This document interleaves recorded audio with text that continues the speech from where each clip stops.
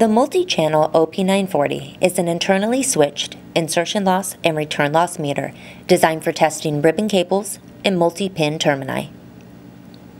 This unit incorporates the same features as the single-channel OP940 models, including a color LCD screen, an optical reflectance scan mode, programmable pass-fail for user configurable test criteria, and on-screen context help.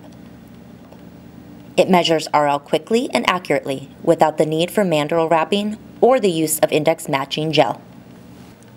By making use of a wide dynamic range for return loss measurements, the OP940 is able to adjust for attenuation in the reference setup, resulting in the most accurate return loss results in the industry. To minimize downtime on high volume production lines in case of optical end face damage, the front panel design has a removable panel for the source connector, allowing the customer to repolish the front panel connector if it gets damaged. By integrating a high quality MEMS optical switch, the multi-channel OP940 is able to quickly and accurately test multi-channel cables.